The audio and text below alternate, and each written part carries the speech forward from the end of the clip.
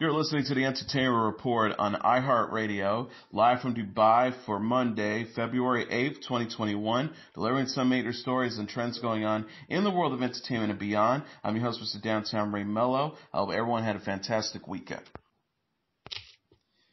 IFC said it will release the Sebastian Stan Denise Gough film Monday in theaters and on pay-per-view platforms on April 16th.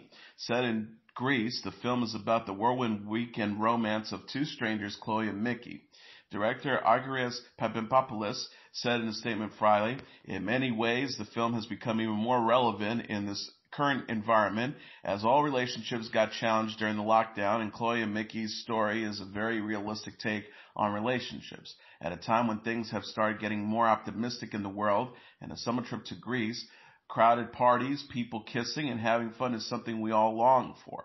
I believe the timing is perfect to release the film, and the fact that it found a home at IFC Films makes my smile a little bigger.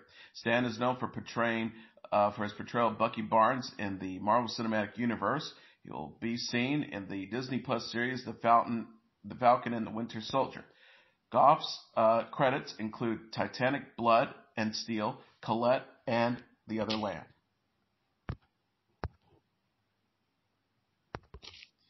Michael B. Jordan celebrated on Instagram his late Black Panther co-star Chadwick Boseman historic four posthumous Screen Actor Guild Award nominations. Uh, John, Jordan captioned a gallery of photos of Boseman on movie set four, still setting the bar high. Miss you, big homie. The post has gotten about 1.5 million likes since Boseman, who died of cancer in August at the age of 43, was nominated by SAG for Best Actor in a Film and Best Supporting Actor in a Film for his performances in Ma Rainey's Black Bottom and The Five Bloods. He was also nominated as uh, part of the cast of those two movies for Best Ensemble in the film, bringing his total of nominations to four, more than any other artist this or any other year.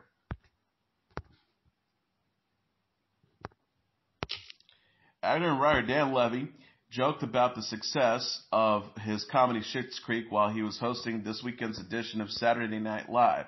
Levy told the audience in his opening monologue, the last 12 months have quite literally changed my life in so many ways, both good and not so good. Levy continued, some good. People finally started watching our show Schitt's Creek. We were fortunate enough to win nine Emmys this year. Unbelievable, beyond a dream come true. The not so good, those Emmys were quite literally thrown at us by a stranger in a hazmat suit. The good, I've been getting stopped on the street by all different kinds of people, which is new and fun and different. The not so good, those people are mainly screaming "ew" at me, which is a, which was a line I wrote for the show that will now haunt for me haunt me for the rest of my life. Levy also appeared in a sketch about friends, uh, Beck Bennett, Kyle Mooney, Chris Redd, and Heidi Gardner, who gathered for a Super Bowl party and boast about how careful they have been playing it during the coronavirus pandemic. Sitting in the living room, they take off their face masks and reveal they have been traveling, wrestling, shopping, eating in restaurants, having unsafe sex with strangers, and carrying a vaccine around in a vial instead of actually taking it. The segment ended with the pals eating chill out uh, out of a communal pot with their hands and realize they can't smell or taste it. Loss of taste and smell can be symptoms of the coronavirus. Uh, SNL cast members Kate McKinnon then showed up as Dr. Anthony Fauci and said, what you just saw was the wrong way to Super Bowl. That's why I partnered with Cheetos and Durex condoms to remind you to Super Bowl responsibly. At home, in a mask, lights out, no friends. A four-part docu-series about filmmaker Woody Allen Mia Farrow and their daughter Dylan is set to debut on HBO on February 21st. Helmed by Kirby Dick, Amy Ziering, and Amy Herdy, Allen vs. Farrow goes behind decades of sensational headlines to reveal the private story of one of Hollywood's most notorious and public scandals. The accusation of sexual abuse against Woody Allen involving Dylan, his then seven-year-old daughter with Mia Farrow, their subsequent custody battle, the revelation of Allen's relationship with Farrow's daughter Soon-Yi Previn, and the controversial aftermath in the years that followed.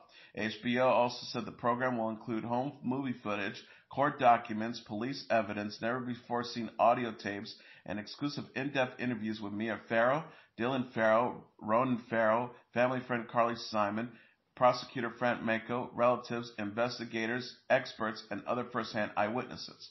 Allen has denied any wrongdoing regarding Dylan Farrow's allegations, which she has publicly discussed for decades, but which she has attracted fresh attention in the Me Too era. Allen is the Oscar-winning writer and director whose many classic films include collaborations with Mia Farrow, such as Broadway Danny Rose, Hannah and Her Sisters, and The Purple Rose of Cairo.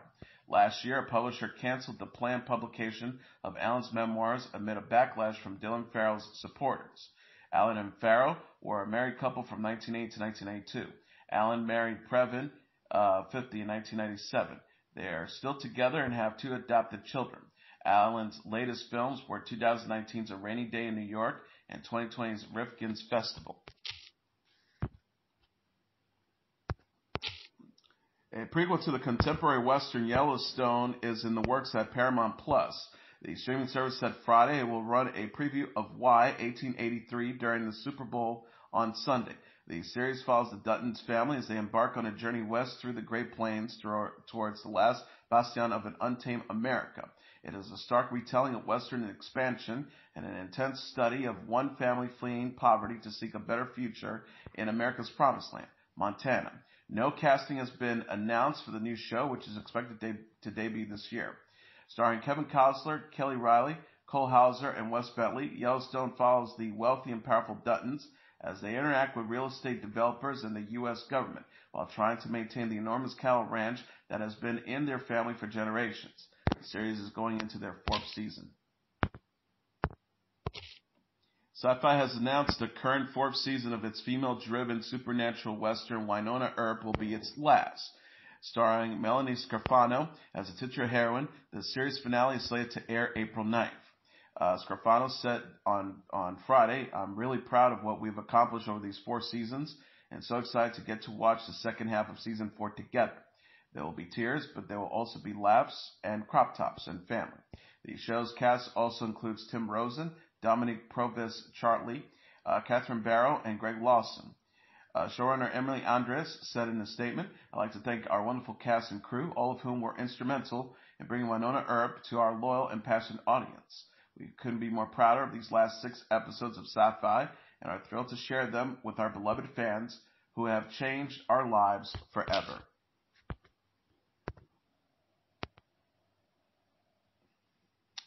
Fox News Media announced Friday it canceled its highly rated show hosted by Lou Dobbs one day after he was named in a $2.7 billion defamation suit filed by voting technology company Smartmatic.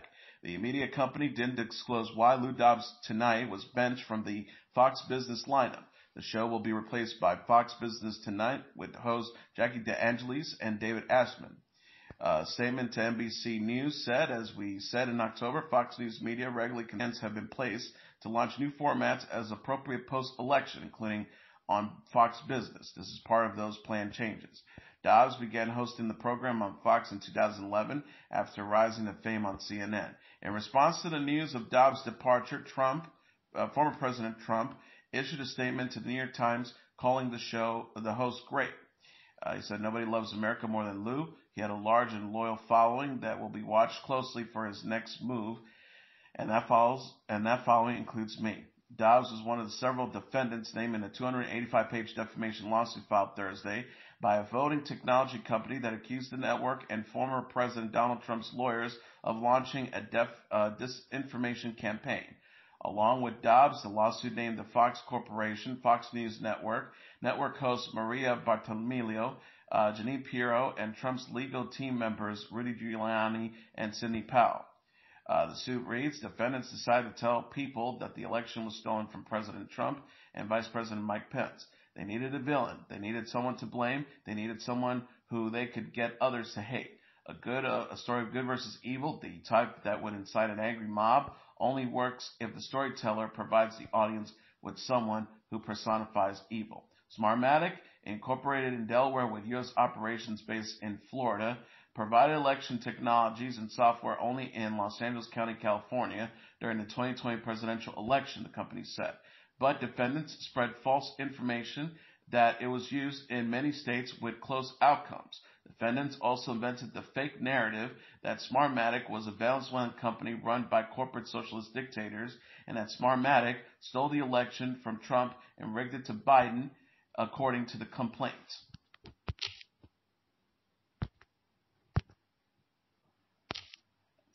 Nick Cannon has resumed working with Viacom CBS following his firing in the summer 2020.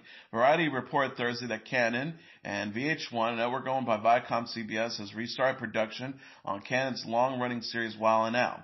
Viacom CBS cut ties with Cannon in July after the actor and television personality made anti-Semitic remarks on his podcast.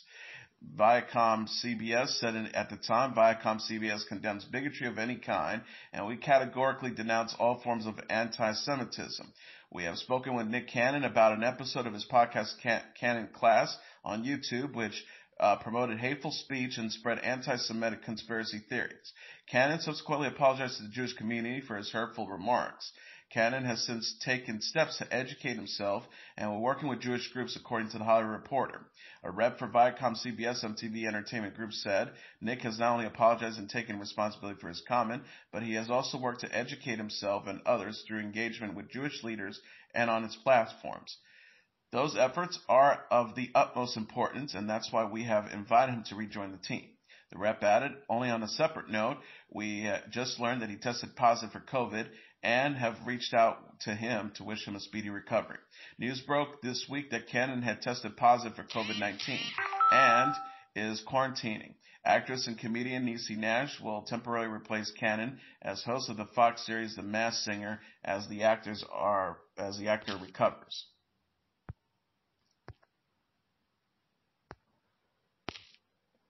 Timothée Chalamet plays Edgar, the son of Edward Scissorhand, and Winona Ryder reprises her role of Kim in a Cadillac commercial released Sunday.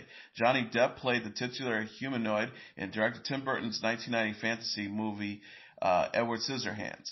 Kim was his teenage love interest with whom he left be, uh, behind to live in a remote castle after the townsfolk who once praised his uniqueness later deemed him dangerous and turned on him. This weekend's 90 second Cadillac commercial shows the blade fingered Edgar having difficulty riding a bus, attending school science class, trying to catch a football, working in a restaurant, and getting his hand stuck in a chain link fence. Edgar's mom cheers him up by presenting him with an electric Cadillac Lyriq, which has hand-free cruise control, which means he can drive it with his awkward appendages. Um, Kim can be heard saying in a voiceover as Danny Elfman's theme music plays in the background, and Edgar drove into the sunset, but don't worry, he still made it home for dinner occasionally. Uh, Burton said in a press release, it is rare when a work you're proud of continues to live on and evolve with the times, even after 30 years. I'm glad to see Edgar coping with the new world. I hope both fans and those being introduced to Edward Scissorhands for the first time enjoy.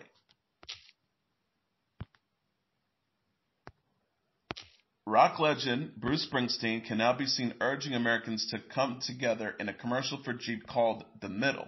The two minute ad was released Saturday on the eve of Super Bowl, the Super Bowl football game.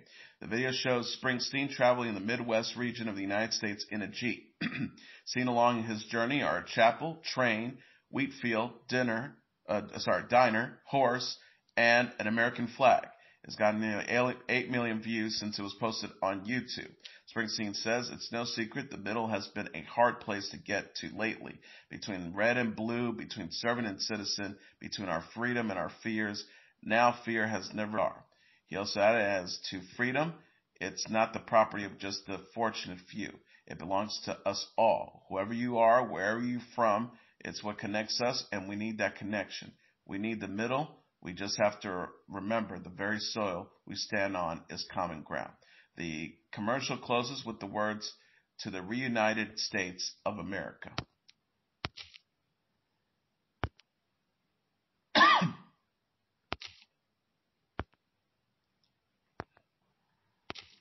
The Green Bay Packers quarterback Aaron Rodgers announced this weekend that he is engaged, but he did not disclose his fiance's name.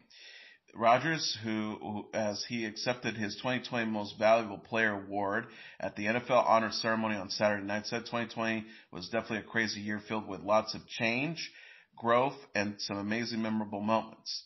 Uh, 180 straight days of having my nose hair scraped, a plan for very little fans or no stands the entire season. I got engaged and I played some of the best football of my career. AE News, People.com, and UsMagazine.com said that they uh, recently confirmed Rodgers had been dating Big Little Lies actress Shailene Woodley. Woodley has now publicly addressed the alleged relationship. Rodgers previously dated former race car driver Danica Patrick.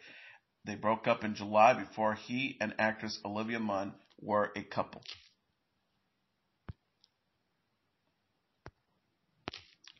Christopher Plummer, the Oscar, Tony, and Emmy award winning actor best known for his role in The Sound of Music, has died at the age of 91. The actor died peacefully at his home in Connecticut with his wife Elaine Taylor by his side, as that confirmed to Deadline. Plummer's friend and manager Lou Pitt also confirmed his death to Variety. Pitt said in a statement, uh, Chris was an extraordinary man who deeply loved and respected his profession with great old-fashioned manners, self-deprecating humor, and the music of words. He was a national treasure who deeply relished his Canadian roots, through his art and humanity, he touched all of our hearts, and his legendary life will endure for all generations to come. He will forever be with us. No cause of death has been disclosed. Plummer portrayed Captain George Von Trapp in 1965's The Sound of Music. He won an Oscar for his role in 2010's Beginners, making him the oldest actor ever to win an, an, an Oscar for Best Supporting Actor.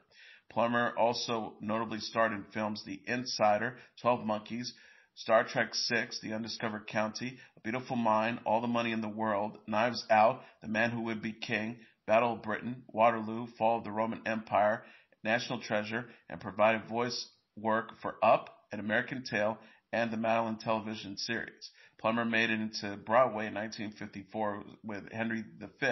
He won two uh, Tony Awards for his musical Cyrano and Barrymore, a play based on the life of John Barrymore.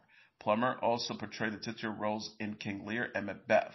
Plummer earned Emmys for the miniseries The Money Changers and Madeline and made television appearances in Hamlet and Elsinore, The Thorn Birds, Nuremberg, Little Moon of Alban, Departures, and Muhammad Ali's Greatest Fights. Plummer was 91.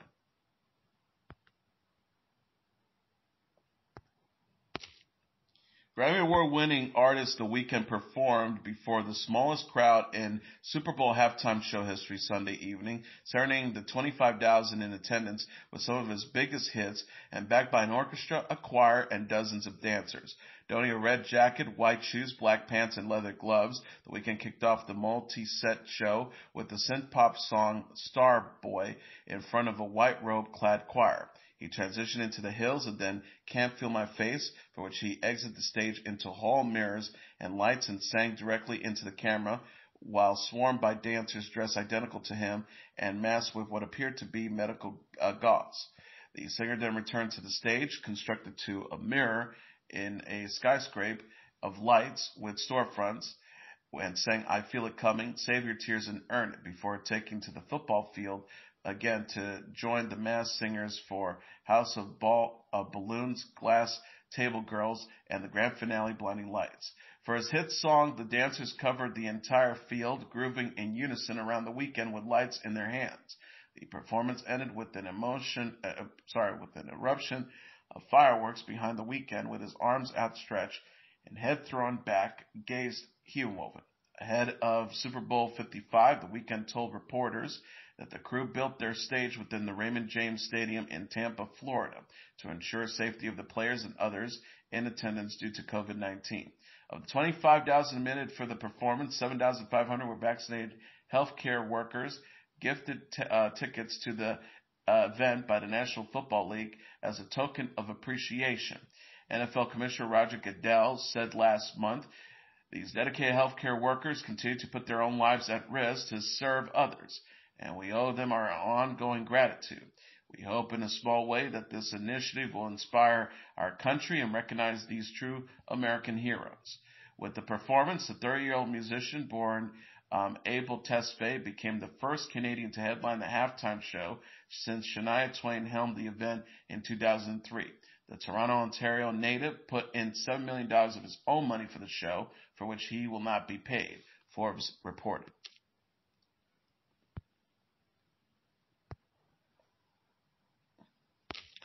Morgan Wallen's Dangerous, the double album, is the number one album in the United States for a third consecutive week.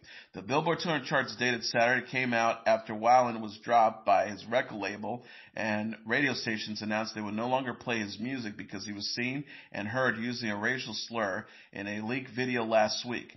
The Academy of Country Music also said Wallen was no longer eligible to be nominated for the 2021 ACM Awards. Wallen, who won the ACM Award for Best uh, for New Male Artist of the Year in 2020, has apologized for the language he used while out with friends. Coming in number two on this week's album charts is Pop Smoke's Shoot for the Stars, Aim for the Moon, followed by Taylor Swift's Evermore number three, The Weeknd's After Hours is number four, and Lil Durk's The Voice at number five. Rounding up the top tier are Juice WRLD's Legends Never Die number six, Ariana Grande's Position number seven, Luke Combs' What You See Is What You Get at number eight, Little Baby's My Turn at number nine, and Anuel A.A. and Ozuna's Los Dios at number 10. And finally, Denzel Washington's latest crime drama, The Little Things, is the number one film in theaters for a second consecutive week, earning an additional $2.1 million from receipts, BoxOfficeMojo.com announced on Sunday. The movie, which co-stars Rami Malek and Jared Leto, is also streaming on HBO Max as part of a strategy to appeal to as many viewers as possible during the coronavirus pandemic. Coming in number two this weekend is The Croods, A New Age with $1.8 million, followed by The Marksman at number three with $1 million, Wonder Woman 1984 with $905,000, and Monster Hunter number five with $586,000. Right at the top tier are News of the World at number six with $400,000, Promising Young Woman at number seven with $220,000, Fatale number eight with $170,000, The War with Grandpa number nine with $167,000, and The Lord of the Rings, The Fellowship of the Ring at number 10 with $166,000. And that is your entertainment report for Monday, February 8th, 2021. I'm your host, Mr. Downtown Ray Melo. I'll be back tomorrow to deliver some major stories and trends going on in the world of entertainment and beyond. You can follow the show on Facebook, Twitter, or Instagram. Facebook.com slash The Entertainment Report with Ray Melo. That's R-A-Y-M-E-L-O. On Twitter at The Enter Report or on Instagram at The Entertainment Report. You can listen to this episode or any previous episodes of The Entertainment Report anytime you want on iHeartRadio. Just go to iHeart.com or your iHeart phone app, search for the Entertainment Report, and it'll take you to the page. Good night, and God bless you all.